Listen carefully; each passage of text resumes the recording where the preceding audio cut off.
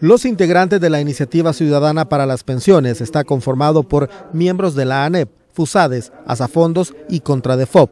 Ellos informaron esta mañana que ha finalizado la fase de consulta y diagnóstico sobre el actual sistema previsional, por lo que pasarán a la siguiente etapa de la formulación de una propuesta integral de reforma. Eh, queremos asegurar pues que todas nuestras recomendaciones que nacen de estos talleres pues que sean viables y que puedan ser incorporadas eh, a las propuestas que esperamos pronto presentar como iniciativa ciudadana.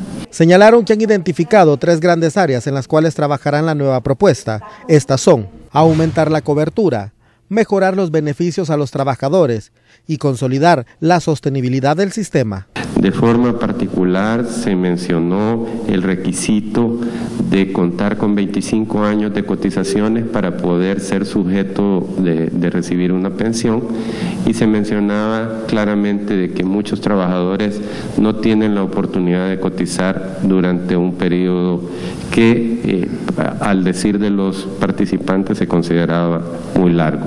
Externaron que para llegar a esta etapa han revisado 20 diagnósticos de instituciones como Funde, Fundaungo, BCR, Superintendencia del Sistema Financiero, entre otras entidades. Asimismo, se han realizado varios talleres donde han participado diversos sectores de la sociedad, principalmente trabajadores. Es necesario que se dé un espacio, por lo menos de unos 90 días, para hacer un análisis técnico para proponer cambios en la ley. Asimismo, calificaron de positiva la medida cautelar emitida por la Sala de lo Constitucional de la Corte Suprema de Justicia con respecto a las reformas al fideicomiso. Que todos se oponen a que el gobierno tome los ahorros de los trabajadores para resolver una crisis fiscal.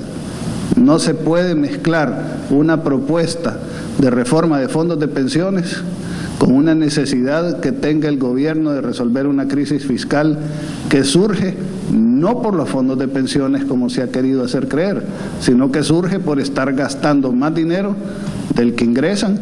La propuesta final, según esta iniciativa ciudadana, la tendrán lista para ser presentada al Ejecutivo a más tardar a finales del mes de enero del próximo año.